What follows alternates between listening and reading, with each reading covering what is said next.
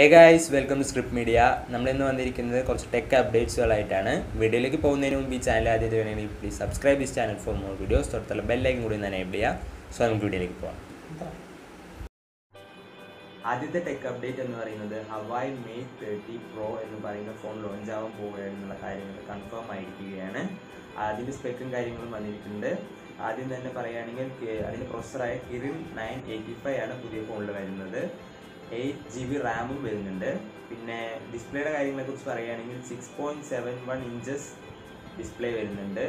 പിന്നെ ക്യാമറയുടെ കുറിച്ച് കാര്യങ്ങളെ കുറിച്ച് പറയുകയാണെങ്കിൽ ഫോർട്ടി മെഗാ പിക്സലിന്റെ രണ്ട് ക്യാമറയും പിന്നെ എയ്റ്റ് മെഗാ പിക്സലിന്റെ ഒരു ക്യാമറയും ബാക്കിൽ റിയർ ക്യാമറ ആയിട്ട് വരുന്നുണ്ട്. പിന്നെ ഫ്രണ്ട് ക്യാമറ ആയിട്ട് മുപ്പത്തിരണ്ട് എം ബി ക്യാമറ വരുന്നുണ്ട്. പിന്നെ ബാറ്ററിയുടെ കാര്യം പറയുകയാണെങ്കിൽ നാലായിരത്തി ഇരുന്നൂറ് എം എച്ച് ബാറ്ററി കപ്പാസിറ്റിയാണ് വരുന്നത്. സൂപ്പർ ഫാസ്റ്റ് ചാർജിങ്ങും വയർലെസ് ചാർജിങ്ങും വരുന്നുണ്ട്. പിന്നെ ഇതിന്റെ ലോഞ്ചിനെ കുറിച്ച് പറയുകയാണെങ്കിൽ അടുത്ത മാസം അതായത് സെപ്റ്റംബർ മാസം പതിനെട്ടാം തീയതിയാണ് ഈ ഫോൺ ലോഞ്ച് ആവുന്നത് എന്നാണ് നമുക്ക് പറയാൻ പറയാൻ പറ്റും രണ്ടാമത്തെ ടെക് അപ്ഡേറ്റ് എന്ന് പറയുന്നത് എൽ ജിയുടെ പുതിയൊരു ട്രാൻസ്പാരന്റ് ഫോൾഡബിൾ സ്മാർട്ട് ഫോണിന്റെ ഒരു പേറ്റന്റ് ആണ്. അപ്പോൾ നമുക്ക് എല്ലാവർക്കും ഒരു ട്രാൻസ്പാരന്റ് കേസ് എന്താണെന്ന് അറിയാം. ഇപ്പോൾ ഇതൊരു ട്രാൻസ്പാരന്റ് ആണ്. നമുക്ക് ഇവിടെ കാണാം ഈ ഫോണിന്റെ ട്രാൻസ്പാരന്റ് കേസ് ഇട്ടിട്ടുണ്ടെങ്കിലും നമുക്ക് ഫോണിന്റെ ഉള്ളിലുള്ള ഡിസൈനൊക്കെ കാണാൻ പറ്റും. ഇതന്നെ ഒരു ഫോണായി ആലോചിക്കുക. വെറും ഒരു ഗ്ലാസ് പോലെ ഉണ്ടാവും നമുക്ക് ഇവിടെ നോക്കി കഴിഞ്ഞാൽ പുറകിൽ അതൊക്കെ കാണാൻ പറ്റും. ഈ ഫോണിലൂടെ കാണാൻ പറ്റും. അതായിരിക്കും ഒരു ട്രാൻസ്പാരന്റ് ഫോൺ എന്ന് പറയുന്നത്. അതേ ട്രാൻസ്പാരന്റ് ഫോൺ ഫോൾഡബിളും ആണെങ്കിലോ അതാണ് ഈ എൽ ജിയുടെ പുതിയ പാറ്റന്റ് പക്ഷേ ഇത് നമ്മൾ എൽ ജിയിൽ നിന്ന് ഒരിക്കലും പ്രതീക്ഷിക്കാൻ പറ്റില്ല. കാരണം എൽ ജി ഇപ്പോൾ ഫോണുകൾ തന്നെ ഇറക്കുള്ളൂ. അപ്പോൾ ഇവർ ഇങ്ങനെ ഒരു പുതിയ സാധനം ഈ അടുത്ത വർഷങ്ങൾക്ക് ഇറക്കാനുള്ള സാധ്യത ഭയങ്കര കുറവാണ്.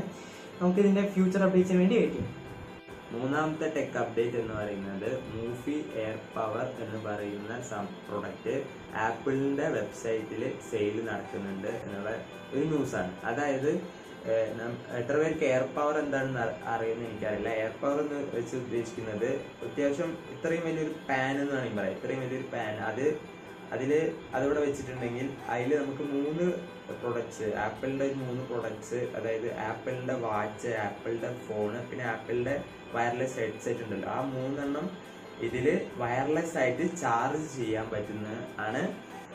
അങ്ങനെ ഒരു സംഭവമാണ് എയർ പവർ എന്ന് പറയുന്ന ഇതെന്ന് ഉദ്ദേശിക്കുന്നത്. അപ്പോൾ എയർ പവർ ആ ഈ ഒരു കൺസെപ്റ്റ് ആപ്പിൾ ആദ്യം കൊണ്ടുവന്നത് ആ ഒരു കൺസെപ്റ്റ് ആദ്യം ആപ്പിളാണ് കൊണ്ടുവന്നത്. എന്നിട്ട് അത് ഡെവലപ്പ് ചെയ്യാൻ തുടങ്ങിയിട്ടുണ്ടായിരുന്നു. പക്ഷെ എന്തൊക്കെയോ പ്രോബ്ലംസ് ആ ഡെവലപ്മെന്റ് സമയത്ത് ഉണ്ടായി. അതായത് ഹീറ്റിംഗ് പ്രശ്നങ്ങൾ പിന്നെ ലീക്കേജസ് അങ്ങനെയുള്ള കുറേ പ്രശ്നങ്ങൾ അതിന്റെ ഇടയിൽ വന്നതുകൊണ്ട് ആപ്പിൾ ഈ പ്രൊജക്റ്റ് അങ്ങോട്ട് ക്യാൻസൽ ചെയ്തു. അപ്പോൾ എന്തായി? ഇപ്പോ മൂഫി എന്ന് പറയുന്ന ഒരു കമ്പനി ഈ എയർ പവർ ഡെവലപ്പ് ചെയ്ത് കൊണ്ടുവന്നിട്ടുണ്ട്. അപ്പൊ അതിനെ സപ്പോർട്ട് ചെയ്യാനാണോ എന്താണെന്ന് അറിയില്ല.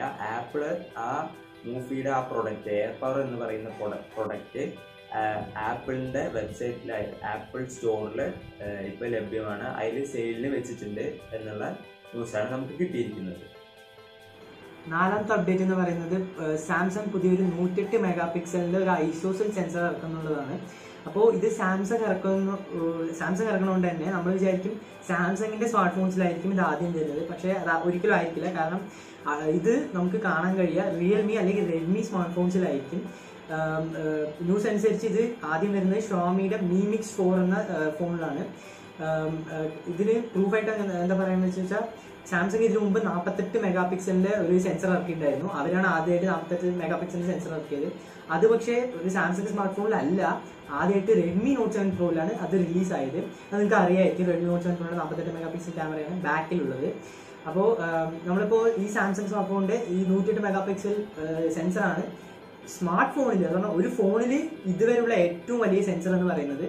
അത് റിലീസ് ചെയ്യാൻ പോകുന്നത് ഇന്ന് ഇന്ന് റിലീസാവും ഇത് ഓഗസ്റ്റ് പന്ത്രണ്ടാം തീയതി എന്നാണ് പറഞ്ഞിരിക്കുന്നത്. അപ്പോൾ ഇന്നത് റിലീസാവുകയാണ് അത് നമുക്ക് ഇനി വരുന്ന സ്മാർട്ട് ഫോൺസിൽ കാണാൻ കഴിയും. അതിപ്പോൾ ഷോമി മിമിക്സിൽ ഫോറിൽ വന്ന ശേഷം അത് നല്ല ഹിറ്റ് ആവുകയാണെങ്കിൽ നമുക്ക് സാംസങ്ങിന്റെ ഫ്ലാഗ്ഷിപ്പ് സ്മാർട്ട് ഫോൺസ് ആയ സാംസങ് ഗാലക്സി എസ് ലെവനിലോ അല്ലെങ്കിൽ നോട്ട് ലെവനിലോ അത് കാണാൻ കഴിയുമെന്ന് നമുക്ക് പ്രതീക്ഷിക്കാം. ഇനി ഫ്യൂച്ചർ അപ്ഡേറ്റ്സ് പറയാം. പറയാം അവസാനത്തെ അപ്ഡേറ്റ് എന്ന് പറയുന്നത് ഷിയോമിയുടെ മി എ ത്രീ എന്ന് പറയുന്ന ഫോണ് ഇന്ത്യയിൽ ലോഞ്ച് ആവാൻ പോവുകയാണ് എന്നുള്ളതാണ്. ഇതിന്റെ സ്പെക്കും കാര്യങ്ങളെ കുറിച്ച് പറയുകയാണെങ്കിൽ ഈ ഫോണിൽ വന്നിട്ട് Snapdragon six sixty five processor വരുന്നുണ്ട്. പിന്നെ റാമിനെ കുറിച്ച് പറയുകയാണെങ്കിൽ ഫോർ ജി ബി റാം ആണ് വരുന്നത്. ഡിസ്പ്ലേ ആണെങ്കിൽ ആറ് പോയിന്റ് പൂജ്യം എട്ട് ഇഞ്ചസ് ഡിസ്പ്ലേ വരുന്നുണ്ട്. പിന്നെ ക്യാമറയെ കുറിച്ച് പറയുകയാണെങ്കിൽ റയർ ക്യാമറ ആയിട്ട് മൂന്ന് ക്യാമറയാണ് വരുന്നത്. ഒന്ന് നാൽപ്പത്തെട്ട് മെഗാ പിക്സലിന്റെയും ഒന്ന് എട്ട് മെഗാ പിക്സലിന്റെ പിന്നെ ഒന്ന് രണ്ട് മെഗാ പിക്സലിന്റെയും ഫ്രണ്ട് ക്യാമറ ആയിട്ട് മുപ്പത്തിരണ്ട് മെഗാ പിക്സലും പിന്നെ ബാറ്ററിയുടെ കാര്യം പറയുകയാണെങ്കിൽ നാലായിരത്തി മുപ്പത് M H battery fast charging ആണ് ഇവിടെ ഇതിൽ ബാറ്ററിയെ കുറിച്ച് പറയുന്നത്. പിന്നെ ഇതിന്റെ ആൻഡ്രോയിഡ് വേർഷൻ പൈ ആണ്. അതായത് പുതിയതായിട്ട് ലേറ്റസ്റ്റ് ആയിട്ടുള്ള പൈ ആണ് വന്നിരിക്കുന്നത്. ഈ ഫോൺ ലോഞ്ച് ആവാൻ പോകുന്ന ഡേറ്റ് ഓഗസ്റ്റ് ഇരുപത്തി ഒന്നാണ് ഓക്കെ ഈ വീഡിയോ ഇഷ്ടപ്പെട്ടിട്ടുണ്ടെങ്കിൽ ലൈക്ക് ചെയ്യുക ഷെയർ ചെയ്യുക സബ്സ്ക്രൈബ് ചെയ്യുക. പിന്നെന്താ ഇപ്പോൾ ഈ കഴിഞ്ഞ ആഴ്ചത്തെ ശരിക്കുള്ള കാര്യങ്ങൾ പറയുകയാണെങ്കിൽ നമ്മുടെ കേരളത്തിൽ ഫ്ലഡാണ്.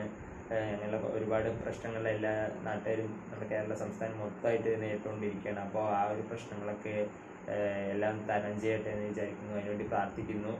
പിന്നെ ഈ വീഡിയോയിൽ കുറേയൊക്കെ ഭാഗം എന്റെ അനിയനാണ് കൂടുതൽ പറയുന്നത്. അവനെ വെച്ചിട്ട് കുറേ ചെയ്തിട്ടുണ്ട്. നന്നായി നന്നായിട്ടുണ്ടാവും എന്ന് വിചാരിക്കുന്നു.